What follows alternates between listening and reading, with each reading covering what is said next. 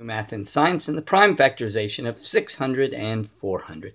And I like to use a factor tree, so let's get started. Up first, we have 2 times 300 for, for the prime factorization of 600. Circle the 2 because it is prime. Now, 2 times 150 equals 300. Circle the 2 because it is prime. Now, 2 times 75 equals 150. Circle the 2 because it is prime.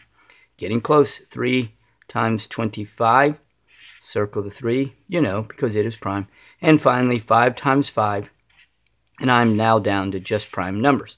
So the prime factorization of 600 is 2 times 2 times 2 times 3 times 5 times 5. Or you can rewrite that as 2 cubed times 3 to the first times 5 squared. So there we go. That's 600. Now let's take a look at 400. Move it over a little bit. Let's begin with 2 times 200. Circle the 2 because it is prime. Now 2 times 100 equals 200. Circle the 2. 2 times 50 equals 100. Circle the 2.